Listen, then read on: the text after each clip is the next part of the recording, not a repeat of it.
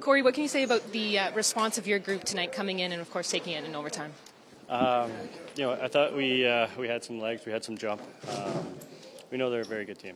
Uh, they play well off the rush, like we, we looked at before the game. And, um, you know, I thought we had some really good shifts, momentum shifts, and, and hemming them in. And um, you know, all around it was a great game. What did you like about being able to play alongside Leon Draisaitl and Connor McDavid tonight? Well, I think it's pretty fun. Um, yeah, they're two two tremendous players. They, they see the ice very well, and um, you know it's uh, that was a beneficiary on uh, on that goal, and you know Leon making a great play over cross team, and, and Connor finding me back door. So, um, like I said, they uh, two world class players.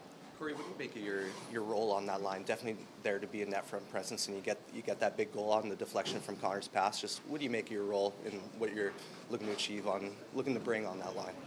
Just trying to give them space, time and space. Um, you know, you know Connor's going to be skating and moving around and, and, you know cutbacks and all that, all all that uh, the fun stuff. And um, you know, a couple times there, he set a little pick and let him go, and, and then get back to the front of the net. And you know, I spent a lot of time in uh, five feet in front of uh, Oettinger tonight, so um, you know, I'm no no stranger to being there. So it was uh, it was fun.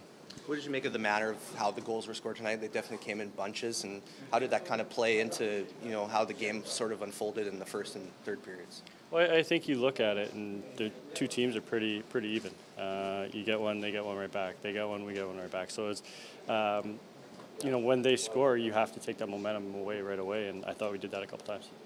Got a few weeks playing alongside Evan Bouchard. He comes up big tonight. What do you notice about his game and how he contributes to this lineup?